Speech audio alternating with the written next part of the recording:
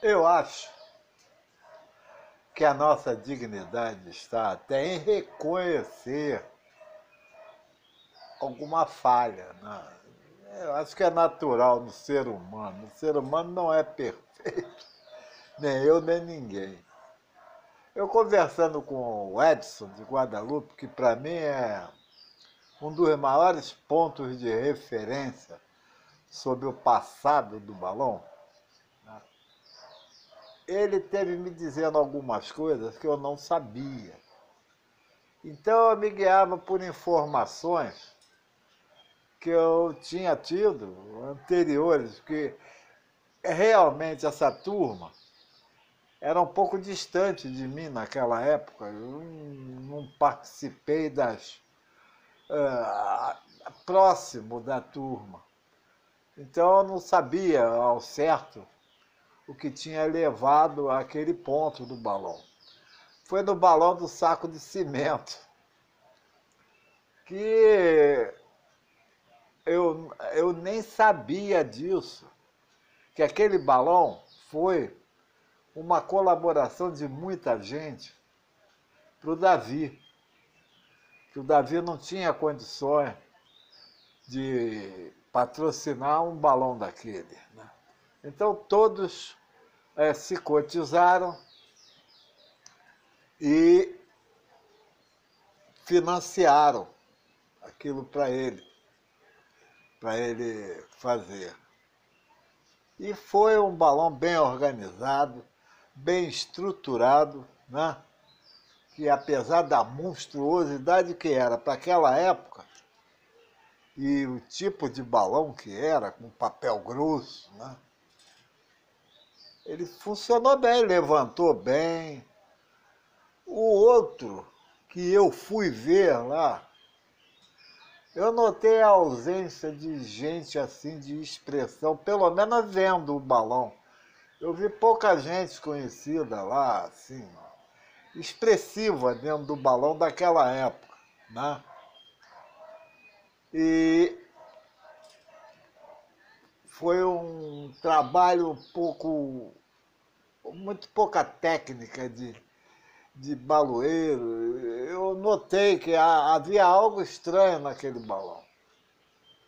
Agora eu estou sabendo pelo Edson que o Davi, apesar de gostar muito de balão, ele tinha atitudes meio estranhas, às vezes provocado pela, digamos, pela bebida, por, por certos excessos que a pessoa acaba cometendo e aquilo ela transgride por efeito de, de outras coisas que não é só a sua mente. E ele criou confusão com o pessoal que colaborava, que patrocinava e que trabalhava junto com ele. Esse pessoal revoltado se afastou. Se afastou e aí ele acabou terminando lá com a rapaziada, terminaram o balão e eles é que organizaram a soltura do balão. Foi quando eu vi coisas que eu nunca tinha visto em balão e que nunca mais foi usado. Tá? Gente entrando por dentro, do, pela boca do balão, parecia um túnel. O pessoal entrando com os maçaricos, bujão de gás, tudo lá pro meio do balão e maçaricando lá dentro para ver se o balão levantava. E foi um sufoco. O balão não levantava de jeito nenhum. Indo levantar à noite, aí rasgou tudo. Foi um negócio meio desorganizado. Tanto que num rasgo que teve no balão, aquilo que eu falei, de colar, usar até um tubo de cola, um, uma um litro de cola para passar cola no balão foi usado, isso eu vi. Ninguém me contou, não. E colar andar em cima do remendo lá, batendo com o pé, também vi. Né? Lá espalhado no, no terreno e eles colando. Depois o balão levantou e realmente foi uma catástrofe. Isso eu também vi. São coisas e aí eu falo porque eu vi. Né? é, gente saindo pela lateral do balão com maçarico, né? E o bujão de gás pendurado, apavorado com aquele monstro em cima dele ali. E que eu falei que a cena foi até meio hilária na hora, foi o traje cômico, né?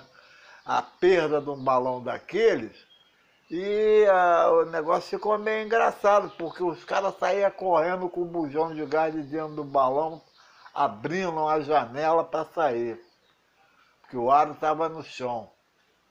Então, pô, foram coisas que aconteceram desagradáveis mesmo para o balão. Né?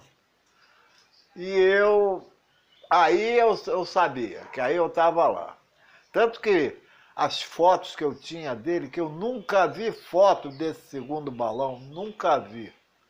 Só, eu só vi as minhas, que surrupiaram do meu álbum. Eu fui emprestar o álbum para alguém e ele viu aquelas fotos que nunca tinha visto e deve ter tirado para ter exclusividade. Né? Eu perdi os negativos, quer dizer, nunca mais recuperei as fotos. Quer dizer, essa é a história. E o meu amigo Edson, rapaz, é o mestre do grafite. O cara desenha muito. A, a Realengo deve, devia muito a ele, a qualidade dos desenhos. O trabalho era da turma e ele comandava. Mas os desenhos dele eram fantásticos. Ele fez coisas maravilhosas lá. E esse era o Edson mesmo, meu irmão. É meu amigo, graças a Deus. Valeu, gente.